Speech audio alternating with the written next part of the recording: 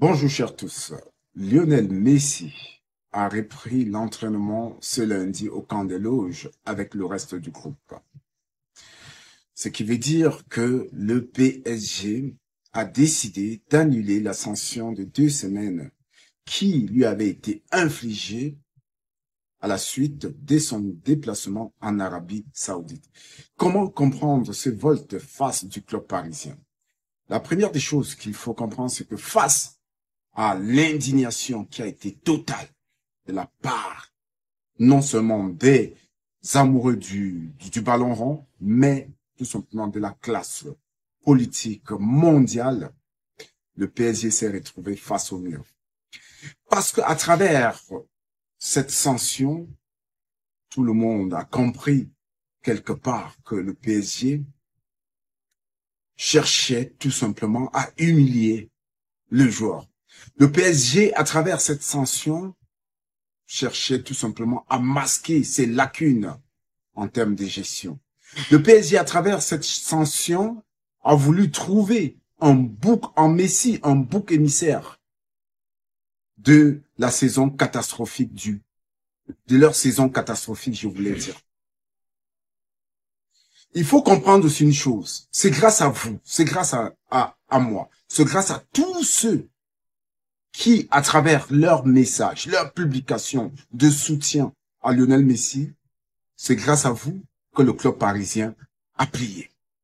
Deuxième chose, c'est grâce à Lionel Messi lui-même qui a démontré des parts l'excuse qu'il a demandé, qui a démontré qu'il était au-dessus de la haine, qu'il était au-dessus de la méchanceté, qu'il était, qu'il était tout simplement là par, amour pour le ballon rond et qu'il aspirait à une chose, c'est de jouer au football. Il a fait preuve d'humilité, de sagesse, de grandeur. Oui. J'espère que les dirigeants parisiens, à travers ce, ce comportement de Lionel Messi, ils ont compris que le problème de, de leur équipe n'est pas, ce n'est pas ces joueurs étrangers qui viennent en France. Oui, parce qu'à travers cette attitude, les joueurs ne voudraient plus venir jouer dans le championnat de France. Oui, parce que les dirigeants du Paris Saint-Germain ne respectent pas les joueurs. Ils pensent, ils, ont toujours les mêmes comportements comme je, je, je vais peut-être un peu m'avancer, aller plus loin. Si déjà, peut-être au Qatar, s'ils n'ont pas l'habitude de respecter les travailleurs étrangers, pakistanais qui viennent construire leur pays. Ici, c'est la France. Ici, c'est Paris. Apprenez à respecter les hommes. Apprenez à respecter les joueurs. Oui, c'est des êtres humains. Il faut les respecter. Parce que, il faut les respecter parce que c'est des hommes. C'est des hommes comme vous. Ils ont besoin de respect. C'est tout ce que je vous demande. Malheureusement, c'est trop tard parce qu'aujourd'hui, les gens ont vu votre vraie face. Les gens ont vu qui vous êtes. Oui, depuis 12 ans, vous avez fait cela à tous ceux qui sont passés par le Paris Saint-Germain.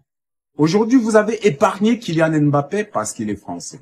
Oui, parce que vous êtes en France. Vous cherchez à avoir les faveurs du gouvernement français, de l'État français. C'est pour ça, aujourd'hui, vous chuchotez Kylian. Mais en réalité, qu'est-ce que vous en voulez à Messi? Qu'est-ce que vous en voulez à tous ces joueurs qui viennent, qui rehaussent l'image du championnat de France? Messi, en un an, en deux ans, a multiplié les recettes du Paris Saint-Germain, a multiplié les abonnements au Parc des Princes, a fait venir autant de stars. C'est une chance pour vous d'avoir un joueur comme celui-là dans votre club.